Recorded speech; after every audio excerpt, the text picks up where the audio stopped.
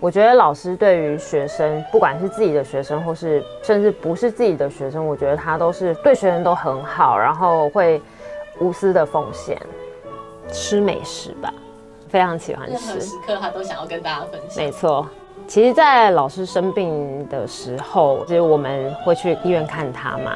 那每次去医院看他，要去之前，老师就传讯息说：“你今天可以帮我偷偷带，偷偷带什么什么什么。”然后记得有一次我们带了冰过去，然后我们就说：“老师，我们今天有带冰哎，可是你好像不能吃。”结果老师就说：“赶快拿来给我吃一口，等一下我妈妈进来就不好了。”所以老师就算他是就是在生病期间，但是他还是没有办法拒绝他喜欢吃的东西。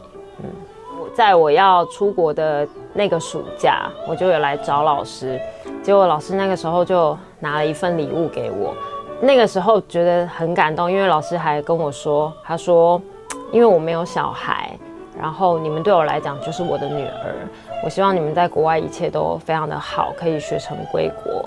我那时候就抱着他，抱着他哭了十分钟吧。老师就说：“你可以，你哭够了吗？你我们可以去吃饭了。”所以其实这件事情对我来讲也是一个蛮大的鼓励，真的我会很想念老师。